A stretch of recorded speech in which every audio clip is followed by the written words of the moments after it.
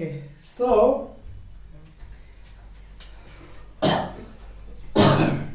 this can be actually I am teaching to class 10 of ICAC subject maths.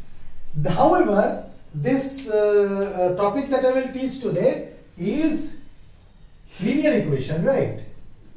Or equations of straight line. Okay. Equation, the name of the chapter is Equations of a Straight Line.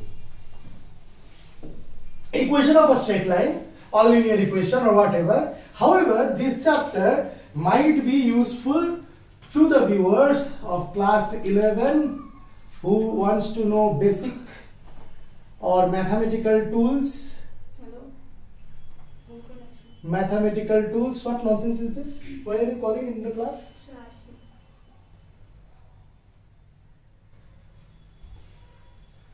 Basic uh, mathematical tools for class 11 physics. Also maybe class 11 mathematics. They require not the entire part but maybe they require some parts of this chapter that you will learn today. So this is equation of straight line. Means a straight line. And the equation of it. This is straight line and the equation.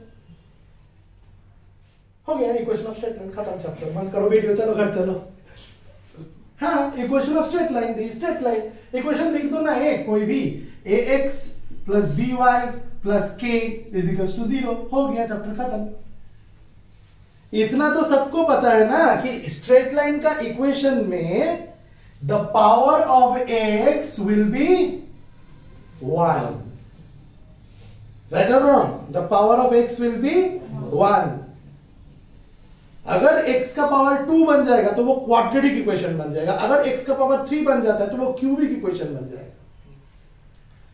देखो, सीखने वाले तो बहुत तरीके से सीख सकते हैं. जैसे कि मैं अगर बताऊँ please you we were waiting for you okay I was so heart broken to not to see you sit now I am very happy are you happy you are happy और नॉट बस let's study then okay इसको half लेने दो थोड़ा सा। अच्छा तो Disha we are learning equations of straight line just I have begun ऐसे ही उल्टा पुल्टा बातें बोल रहा था असली बात कुछ नहीं बोला। अभी शुरू करूँगा।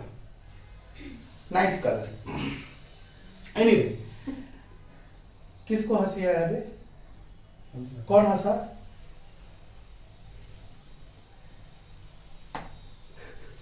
सुन बे गोलू चुप करके बैठ जा, पढ़ा रहा हूँ, ठीक है? तो सीखने वाले तो जैसे भी सीख सकते हैं। देख, मैं एक बात बताता हूँ हाँ। बच्चों को अगर मैं ये सब चैप्टर सिखाऊं तो कैसे सिखाऊँगा? मैं बोलूँगा, सुन linear equation in two variable sorry first बोलूँगा one variable linear equation in one variable h plus three by five is equal to nine तो h is equals to nine minus three by five तो h is equals to five forty five minus three तो x equals to forty two by five कुछ कुछ intelligent बच्चे पूछेंगे sir can we express it in mixed fraction yes please it is improper fraction बहुत खुश हो जाते हैं बच्चे इसका वैल्यू निकाल के। और उनको थोड़े टफ सम्स भी दिए जाते हैं ना है ना? ऐसे वाले sums x minus seven x by three minus seven is equals to x by five plus eight यहाँ से निकाल के तो और खुश हो जाते हैं। तुम भी खुश होते थे जब क्लास सिक्स सेवन में थे। अरे बाप रे सॉल्व कर दिया। तो यही तो है लीनियर इक्वेशन वन वेरिएबल वो लोग जानते हैं। अच्छा चलो। तब उन लोगों को मैं सिखाऊँगा। अच्छा बच्चों linear equation one variable class six में सीख गए जब नाइन्थ टेंथ में आ जाते हैं या एट्थ में आ जाते हैं सेवेंथ में आ जाते हैं linear equation in two variables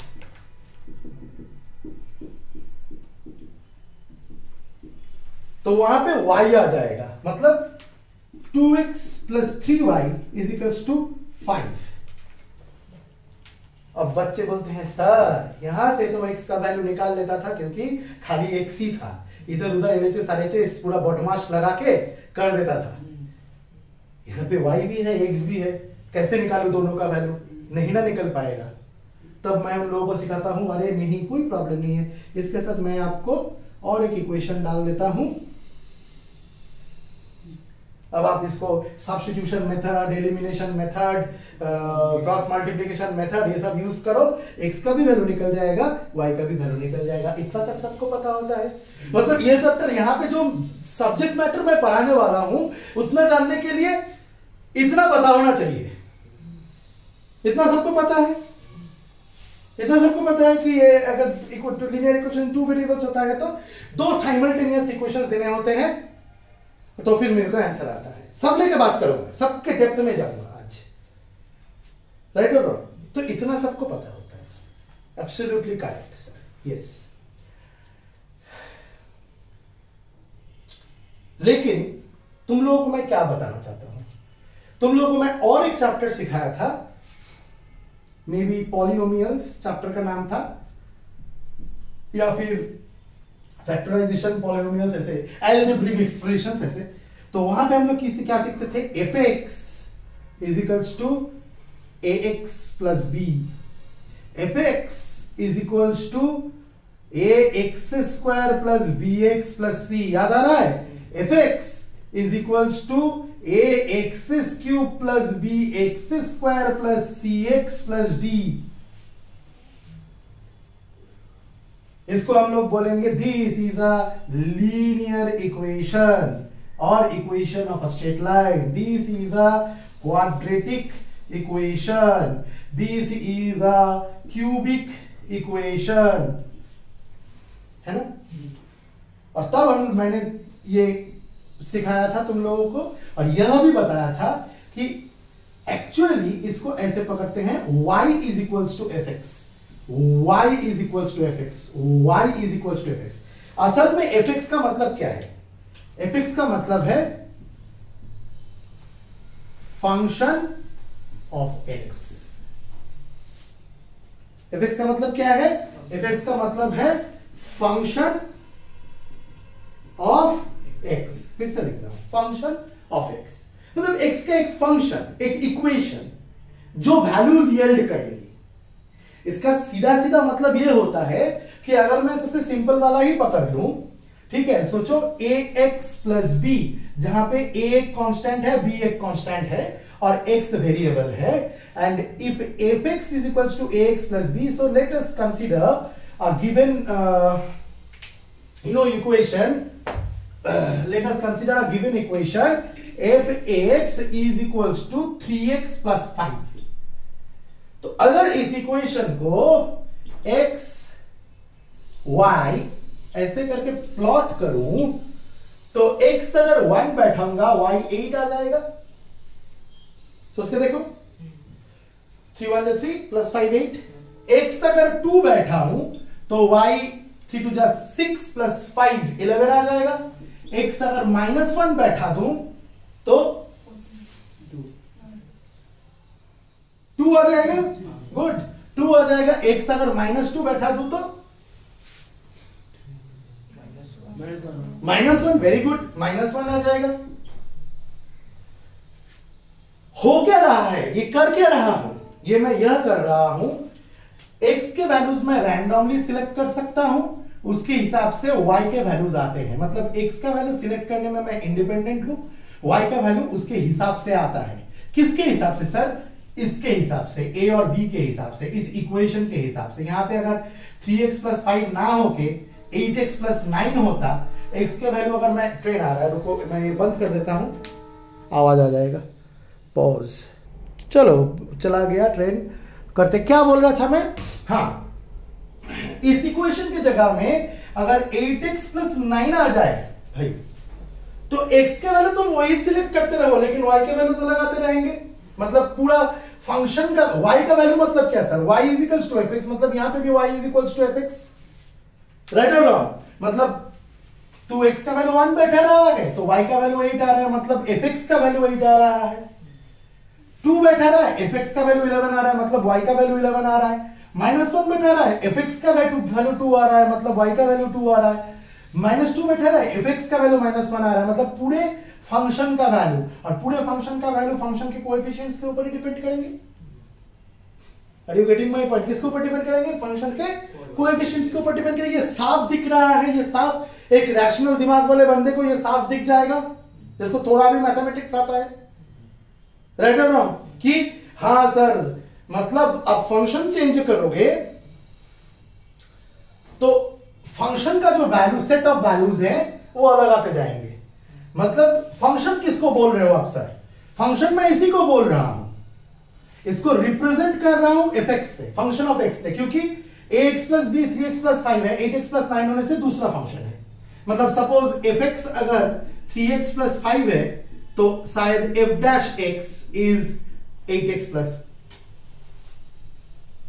eight x plus nine अलग फ़ंक्शन बिकॉज़ ऑफ़ अलग कोएफिशिएंट्स लेकिन एक चीज़ कॉमन है दोनों फ़ंक्शंस में। दोनों फ़ंक्शंस में पावर ऑफ़ एक्स वन है। दोनों लीनियर फ़ंक्शंस है। उसमें भी आता हूँ मैं। अब बात यह है कि ये ये ये आया। लेकिन एक चीज़ नोटिस कर रहे हो, जो फ़ंक्शन का वैल्यू है, उसको y, इसको चलो y पकड़ते हैं। y is equals to f x is equals to ये y y का वैल्यू यानी फ़ंक्शन का वैल्यू x का वैल्यू मतलब खाली उस वेरिएबल का वैल्यू y भी वेरिएबल मतलब अगर x वेरिएबल है तो y भी वेरिएबल है। ये सर नो लेकिन एक चीज़ नोटिस कर रहे हो x इंडिपेंडेंट है, y डिपेंडेंट है। X क्या है? इंडिपेंडेंट वेरिएबल है। इंडिपेंडेंट वेरिएबल है। Y y y क्या है? डिपेंडेंट वेरिएबल है। ये सर नो हाँ? डिपेंड करेगा कि फ़ंक्शन क्या है।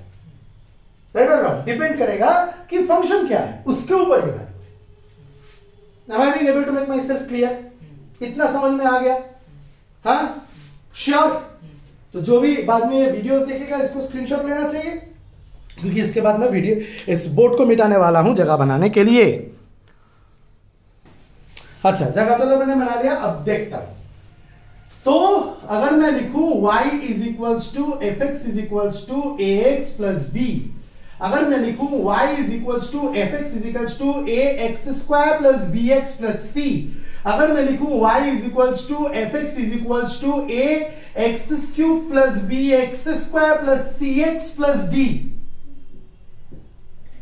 अगर मैं लिखूं तो इसको लीनियर इक्वेशन इसलिए बोला जाता है क्योंकि अगर तू इसके सेट ऑफ़ वैल्यूज़ को लेगा, x और y जैसे कि तूने लिया था y is equals to three x plus five लिया था कि नहीं लिया था? है ना? लिया था कि नहीं लिया था? y is equals to three x plus five इसके जो सेट ऑफ़ वैल्यूज़ तू लेगा one eight two eleven minus one कितना बन जाता है? माइनस वन बैठाने से माइनस थ्री टू और माइनस टू बैठाने से माइनस वन राइट और इसके जो सेट ऑफ़ वैल्यूज़ लेगा तेरे को नहीं लगता ये कोऑर्डिनेट बनते हैं? One comma eight two comma eleven minus one comma two minus two comma minus one what does they become? Don't they become coordinates? They do? Do they? तुम अगर एक कार्टेशियन प्लेन को खींचोगे, ऐसे, है ना? तो यहाँ पे रहता है ओरिजिन ओ, ये हम लोगों को पता है. इतना हम लोगों ने सीखा है. One two three four five minus one minus two minus three minus four oh sorry दिमाग काम नहीं कर रहा है मेरा शायद. ऊपर की तरफ़ क्या होता है? वन टू थ्री फोर लेकिन ये एक्स के वैल्यूज़ है, क्योंकि ये एक्स एक्सिस है. और ये y के वैल्यूज़ है क्योंकि ये y एक्सिस है तो one two three four minus one minus two minus three minus four ये जो मैंने गलती से माइनस वन माइनस टू पर लिख देगा ना, कुछ आदमी हैं यहाँ पे जो मेरे वीडियोस देखेंगे। अरे गलती क्या गलती क्या गलती क्या, मज़ा आ गया। ये तो बायो का स्टूडेंट है। इलेवेंथ का मैथ्स वो भी आईसीसी टेन का मैथ्स पढ़ा रहा देखो पढ़ा रहा हूँ। कोई बात नहीं है ना? तो बायो भी पढ़ाएँगे तब बताएँगे। बायो तो नहीं आता मेरे को। एनीवे anyway, तो ये minus one minus two minus three minus four minus five इधर की तरफ़। ये कार्टेशियन प्लेन है। किसी भी पॉइंट का किसी भी पॉइंट का दो एक सेट ऑफ़ कोऑर्डिनेट्स होते हैं। एक एप्सिसा और एक कोऑर्डिनेट किसको एप्सिसा कहते हैं? इसको एप्सिसा कहते हैं। किसको कोऑर्डिनेट कहते हैं? मतलब एक कोऑर्डिनेट x, y से जो डिनोट होता है इसको क्या कहते हैं? एप्सिसा इसको क्या कहते हैं? ऑर्डिनेट हाँ दोनों को मिला के क्या कहते हैं? कोऑर्डिनेट्स मैं जब छोटा था तो मेरा सर कादिर सर कादिर तिनी कादिर ओके कादिर सर हम लोगों को पढ़ाते थे लेकिन उन उनका पढ़ाने का स्टाइल कुछ और था। लेकिन मैं डिसरेस्पेक्ट नहीं कर रहा हूँ लोगों उनको। तो मैं उनके पास बैठ के बहुत सारा गलती किया। उसका स्टोरी मैंने तुम लोगों को बताया है। मार भी खाया। एफ़ सी साहब लिखा हुआ था। तो मैं पढ़ रहा हूँ। एप्स कीसा एप्स कीसा तो सर ने इसकी वजह से भी पीटा और अभी तक मेरे को याद है, देख। कि सर ने मेरे को पीटा था। एप्स कीसा और पीट के बोला था, इंग्लिश मीडियम में छेले घासने को त्रिनो। समझा? है?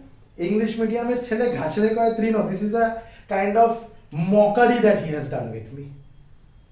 Okay, means घास इज़ ग्रास ग्रास को बंगाली में कहते हैं घास.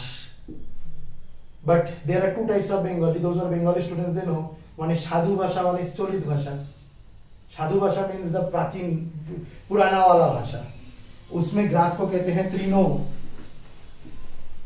है ना? तो तुम खास नहीं बोल के अगर तीनों बोलोगे आज के दिन में तो लोग हंसेंगे कि नहीं? तो वही वो मीन करना चाह रहे थे।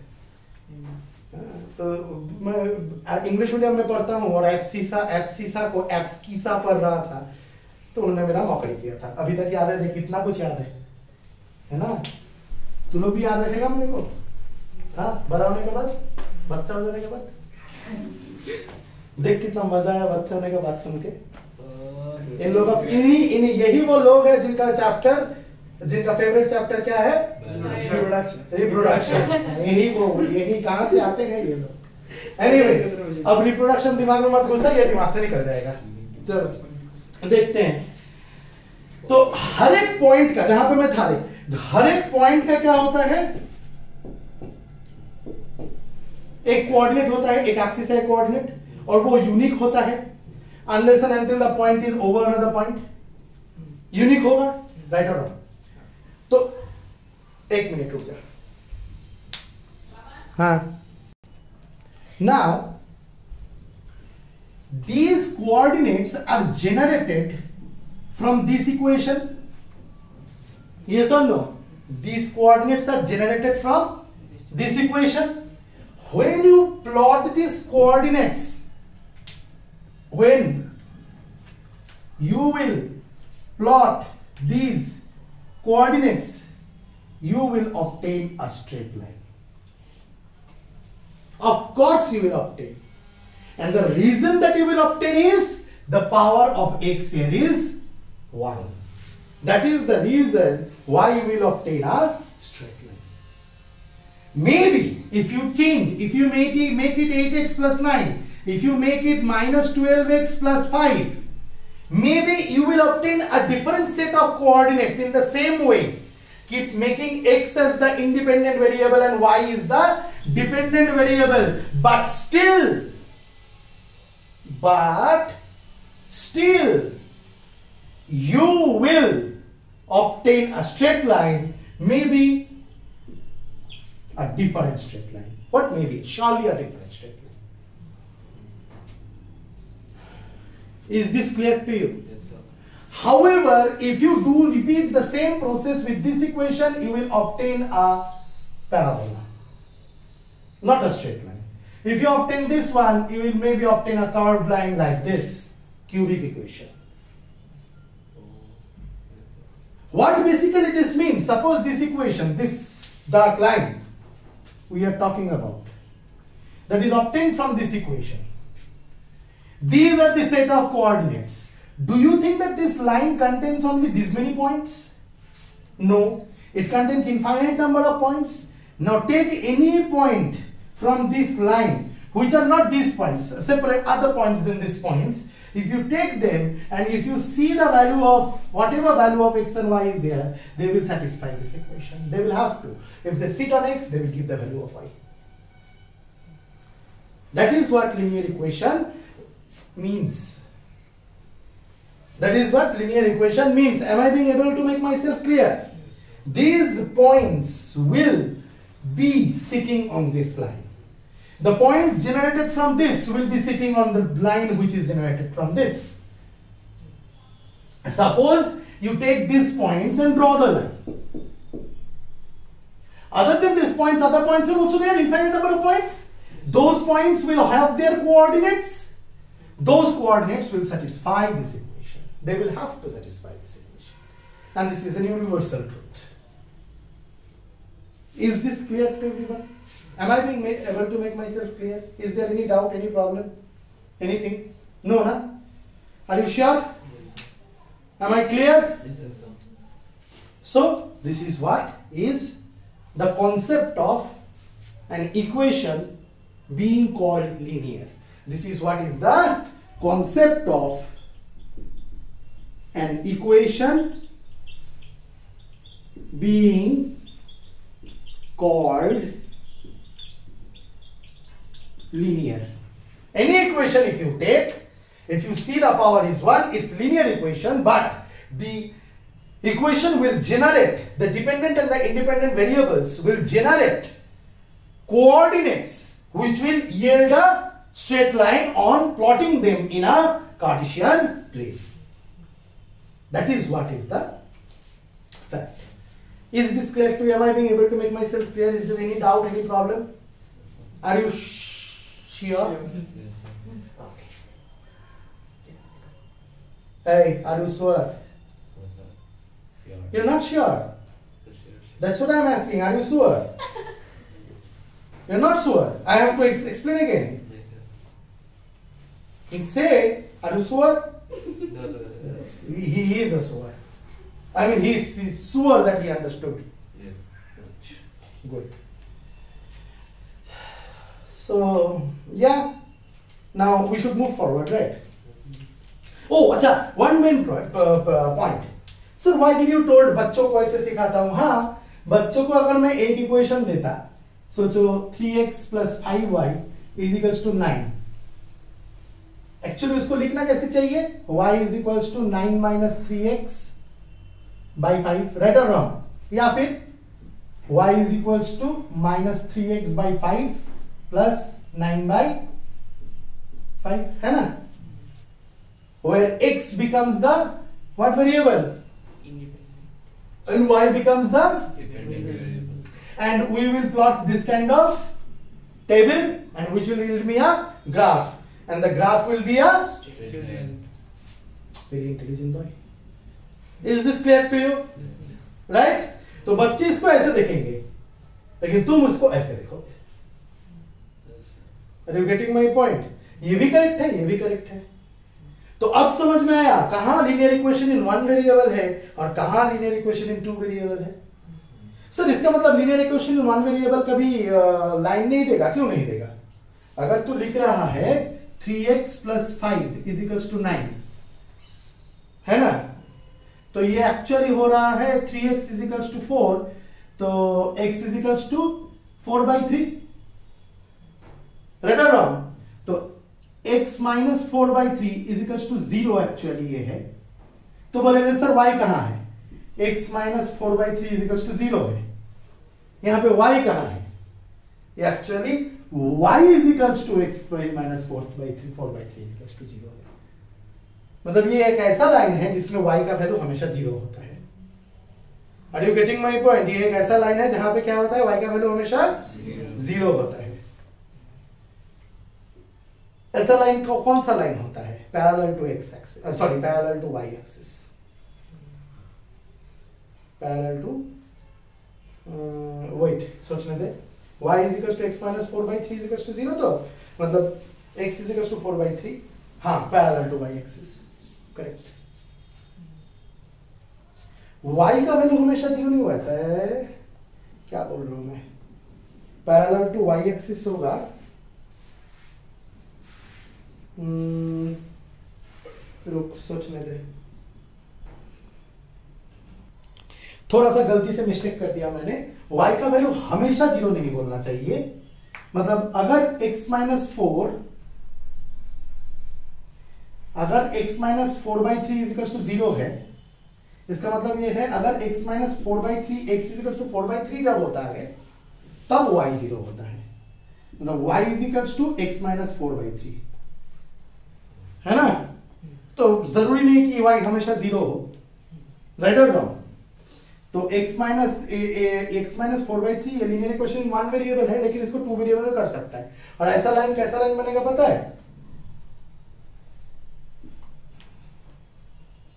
जहाँ पे फोर बाई थ्री है x का यहाँ पे है फोर बाई थ्री सो सोच। तो ऐसा स्ट्रेट लाइन बनेगा। क्यों ऐसा स्ट्रेट लाइन बनेगा सर क्योंकि हमेशा कोई भी कोऑर्डिनेट सिलेक्ट कर ले x का वैल्यू क्या रहेगा? फोर बाई बाई y का y का कोऑर्डिनेट चेंज होता जाएगा। अकॉर्डिंग टू x का कोऑर्डिनेट ऐसे लाइंस ऐसे होते हैं. तो छोटे बच्चे जो linear equation in one variable solve कर रहे हैं वो हमेशा इस वाले लाइंस के इक्वेशन सॉल्व करते हैं. है ना? और अगर वही इक्वेशन कुछ कुछ बुक में y से दिया हुआ होता है तो वो शायद ऐसे इक्वेशन सॉल्व कर रहे हैं. मतलब कोई कोई सम दिया होता है ना कि y minus five is equal to zero यानी मतलब कि y is equal to five y is equal to five कौन सा लाइन बनेगा? Y का वैल्यू जहाँ पे फाइव है, वहाँ से। क्योंकि कोई भी पॉइंट में कोऑर्डिनेट कोई भी कोऑर्डिनेट y मतलब x का वैल्यू चेंज हो जाए, y का वैल्यू फाइव ही रहेगा। तुम लोगों को समझ में आ रहा है कि ऐसे ही देख रहे हो खाली? आ रहा है समझ में? सच में आ रहा है? श्योर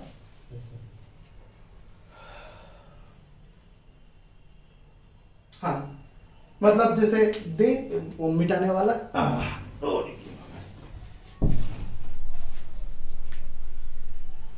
देख तो वीडियो हो रहा है कि पॉज करके रखा है मैंने? अच्छा जैसे कि सोच,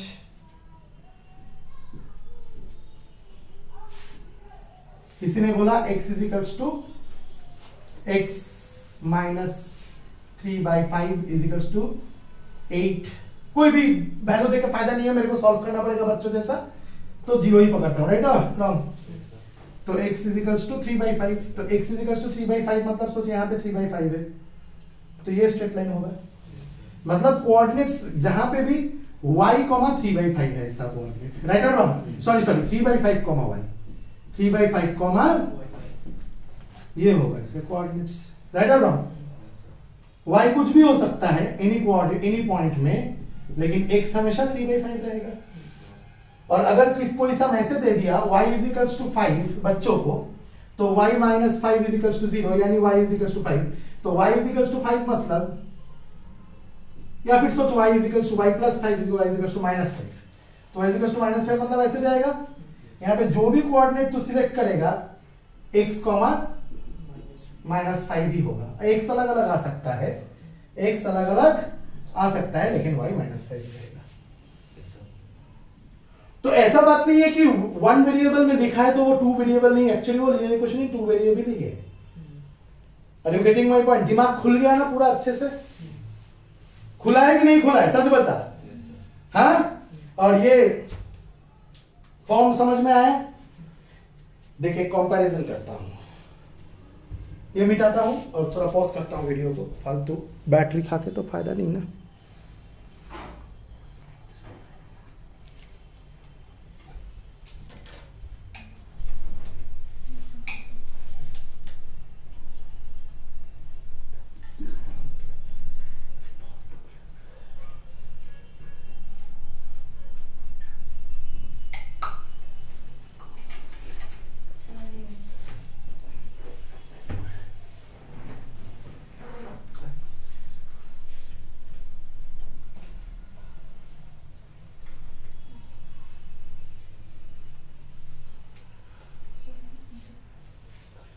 अच्छा। Generally x plus b y plus k is equals to zero ये होता है general form of a linear equation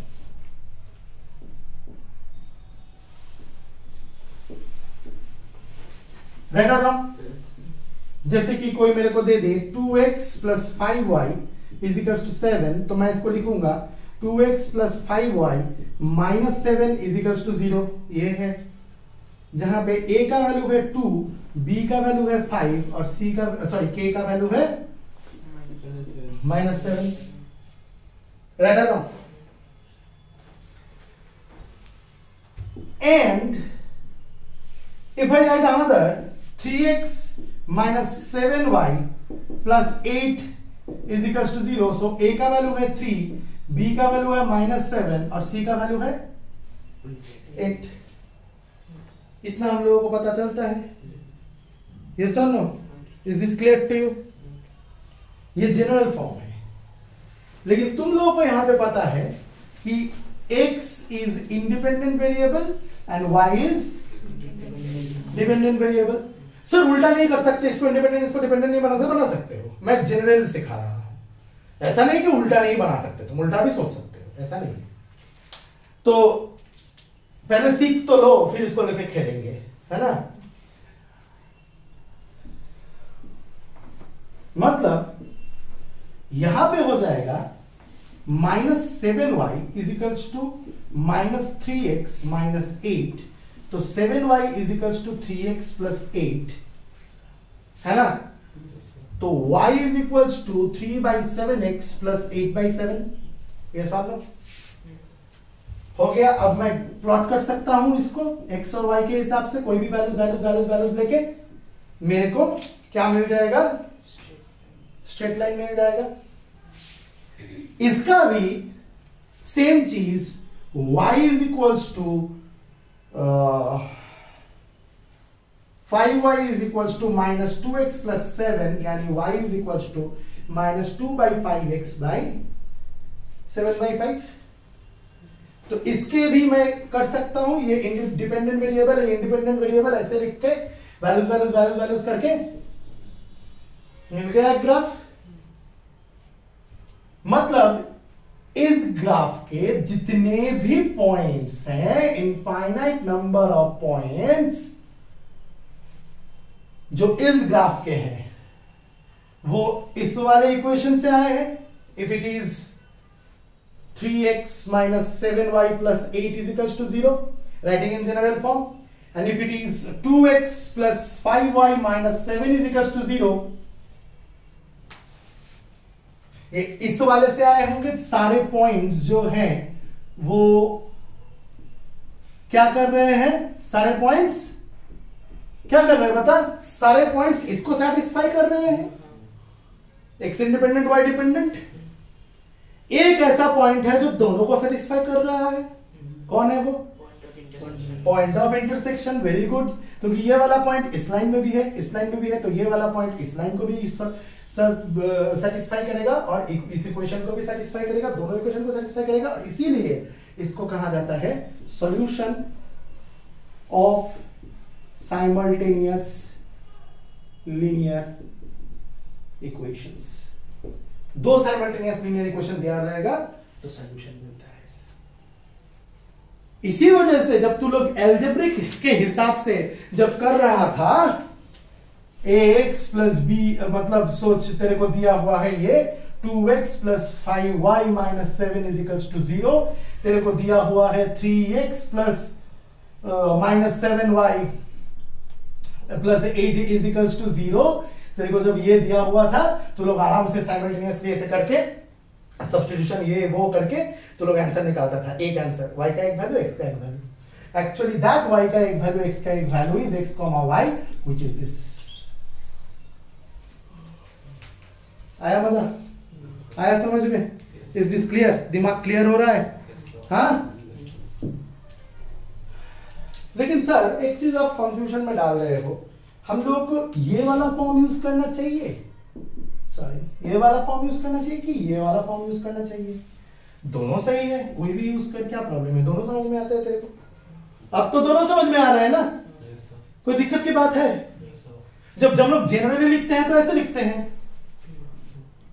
तो सर इसका क्या सिग्निफिकेंस है? इसका इसका क्या सिग्निफिकेंस है? है इसका सिग्निफिकेंस अभी तक तूने जितने भी लीनियर इक्वेशंस तेरे को इक्वेशन दिए गए हैं, उसके बाद तूने सेट ऑफ़ कोऑर्डिनेट्स बनाए, उसको प्लॉट किए और लाइन ड्रॉ किए। मतलब इक्वेशन तेरे को पता है, उसके हिसाब से लाइन कैसा होगा, तू ग्राफ में देख रहा है। ठीक है? चल उल्टा करते हैं। तेरे को ग्राफ दिया हुआ है और एक लाइन ड्रॉ करके दिया हुआ है, इसका इक्वेशन बता के दिखा, अगर बोलेगा। ले। तेरे को कोऑर्डिनेट्स पता चल जाएगा। राइट और रॉन्ग कोऑर्डिनेट्स यहाँ से देख लेगा और सारे कोऑर्डिनेट्स को रिलेट करेगा। रिलेट करता हूँ। यहाँ पे कोऑर्डिनेट मिला है x1 one comma y one यहाँ पे कोऑर्डिनेट मिला है x2 two comma y two ऐसे सेट ऑफ़ वैल्यूज़ मिलते जाएँगे। मिलेंगे कि नहीं मिलेंगे? x3 three comma y three अब तू दिमाग को प्रेशर दे रहा है। x1 y1 x2 y2 x3 y3 x4 y4 इनमें क्या रिलेशन है? क्या इक्वेशन बन सकता है? ऐसे करेगा। एक्चुअली ऐसे ही करना चाहिए जैसे मैंने एक्सप्लेन किया है।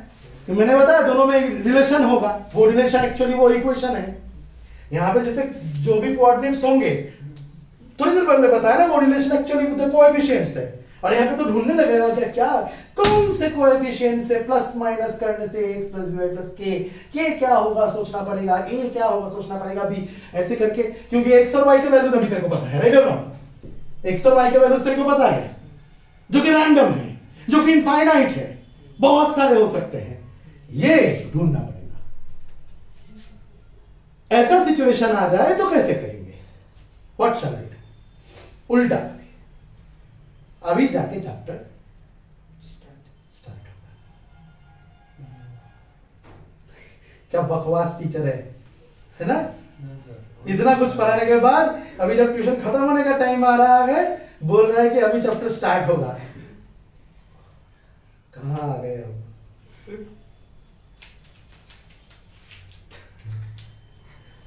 अगर ऐसी बात है तो हम लोगों को कुछ चीज़ें सीखनी होती है। क्या क्या है वो चीज़ें? कहाँ से आती है? वो देखना पड़ेगा। हम लोगों को स्लोप सीखना पड़ेगा। हम लोगों को एक्स इंटरसेप्ट सीखना पड़ेगा। हम लोगों को वाई इंटरसेप्ट सीखना पड़ेगा। और रॉन्ग और उसके बाद इक्वेशन समझ में आने लगेंगे। कि अगर एक लाइन दिया हुआ होगा तो भी उसका इक्वेशन मैं बना दूँगा। क्योंकि हर एक इक्वेशन का एक यूनिक हर एक लाइन का एक यूनिक इक्वेशन है। और उसके बाद ये जनरल फॉर्म जिसमें हम लोग लिखते हैं, और ये फॉर्म जो सिग्निफिकेंट है, ये बताने के लिए कि इक्वेशन क्या है, दोनों को कंपेयर करेंगे। तो तुम लोगों का टास्क ये है कि गूगल करके बुक पढ़ के ये करके, वो करके जो और 200 मैथ्स ट्यूशन लिख के रखे हो मैथ्स में अच्छा करने के लिए, है ना? जहाँ से भी हो, ये पता करके आओ थोड़ा सा खुद से, ताकि अच्छे से समझ में आए नेक्स्ट क्लास में ना। होमवर्क है, क्या पता करके आना है? What is slope what is slope second what is x intercept third what is y intercept? बस ये तीन पता करके आना। ये तीन पता होगा तो तू लोग आइंस्टाइन का बराबर। है ना? हाँ ऐसा सोचो कुछ पता होने से ना सोचो मैं आइंस्टाइन बनूँगा आइंस्टाइन बनूँगा सोचो पॉजिटिव पॉजिटिव थिंकिंग समझ में आया? Is this clear to you क्या होमवर्क है? Is slope? What is x-intercept? What is? Y intercept. थोड़ा देख के आओ। तो नेक्स्ट क्लास में मस्ती होगा. थैंक यू नो आज की वीडियो को यही खत्म करते हैं